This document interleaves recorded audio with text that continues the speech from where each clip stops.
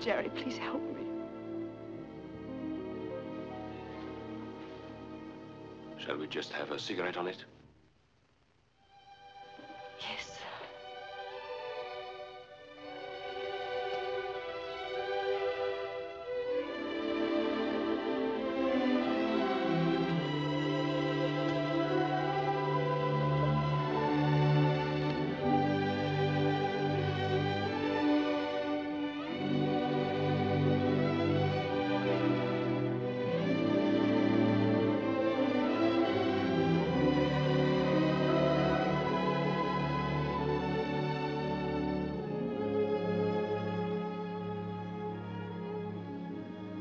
May I sometimes come here?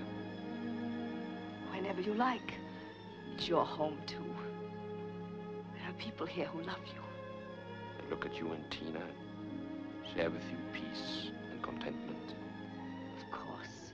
And just think it won't be for this time only. That is, if you will help me keep what we have. If we both try hard to... to protect that little strip of territory talk about your child. Our child.